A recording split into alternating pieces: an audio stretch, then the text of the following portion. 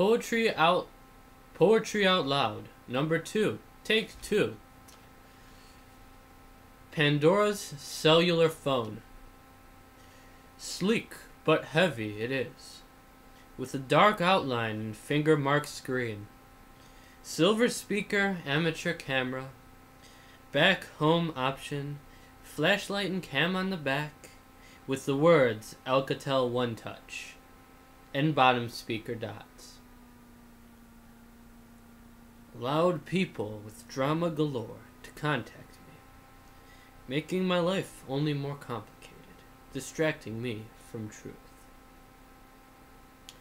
Gave me the power of free media and game, all just in an effort to shut me off from the real world.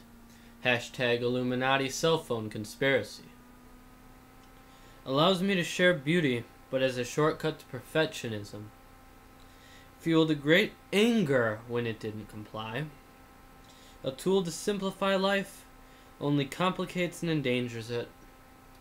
As for me, it brings joy, but isolation. Truth, yet ignorance. Relief, yet fear. Light, yet darkness. And peace, with a side effect of distraction. It comes with the power to communicate, texting with friends, group chats of sin and satire, as in dirty jokes, comedy of kings. Also chats of beauty and pride, the greatness we have gained, and love and nature we have felt. Amen. Goodbye.